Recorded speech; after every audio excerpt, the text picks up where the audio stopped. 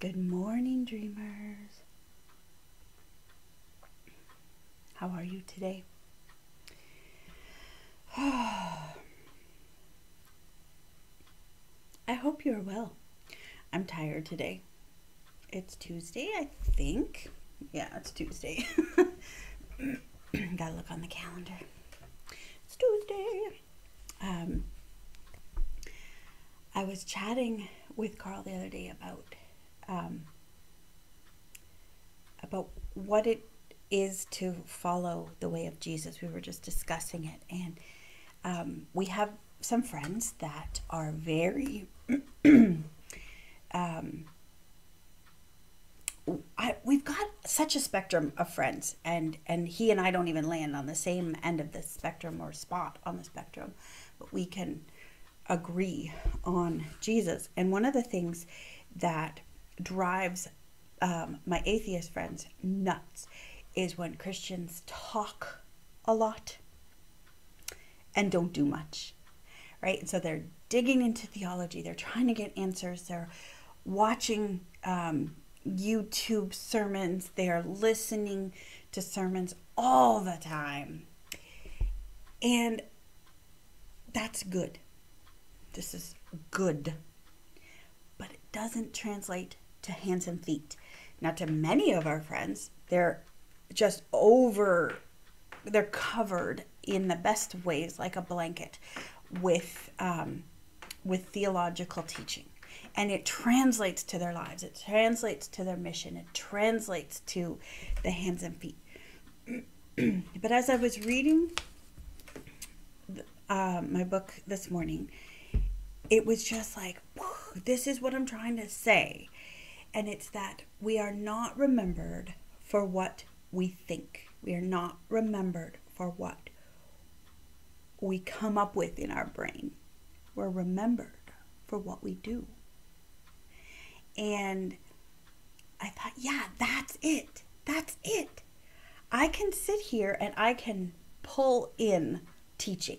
But what happens when I sit at a table and I pull stuff in? I get fat. And I think there's a lot of fat religious people out there. And yet, Jesus walked constantly. He moved his life through towns and villages, touching people, impacting people along the way, changing the world. Talking theology, look at the Emmaus Road. He didn't shy away from, you have heard it said. He didn't shy away from talking about scripture. But he didn't just do that. He got his hands dirty. He touched the blind. He touched the people with skin conditions that would ultimately cause their death and were so contagious that they had to move out of town. He touched what other people would have put in the garbage. He touched the, the sex workers, he touched the orphans, he touched the kids who had a tiny little lunch. And he said, I will take what you have to offer the kingdom and I will multiply it just by the touch and impact of his life. And it was like, yes, I don't want to be a fat religious Christian.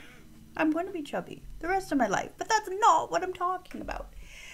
I want to be the one that shows up. I want to be the one that people know they can count on. I want to be the one that doesn't have to be right all the time, but I need to be living Jesus' love all the time. If I'm going to make mistakes, I want them to be mistakes of loving too much. That's what I want. I don't want to be a jerk face. I want to be remembered for what I do, not for the high and mighty things I say and the arguments I win. When someone leaves my presence and they think back, remember that lady? I forget her name, but she was amazing. She gave me a hug And she, she just loved me. Does, they don't need to remember my name. They need to remember how I made them feel, and I want them to have felt valuable and felt beautiful and known that I saw them. That's what I want. I don't know what you want this Tuesday. Do you want to win the argument? Do you want to post that post to make a point? You want to raise money for something?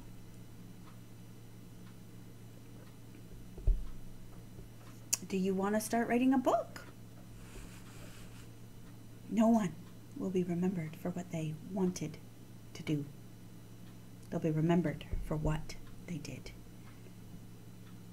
Anyway, that's my thought for the day. It's pretty heavy. I better get going and doing. I will also be remembered for taking rest breaks and naps. Yep, that's okay too. anyway, spend some time dreaming today. Enjoy your hot bevy, and we'll see you tomorrow. Know that I love you. Bye.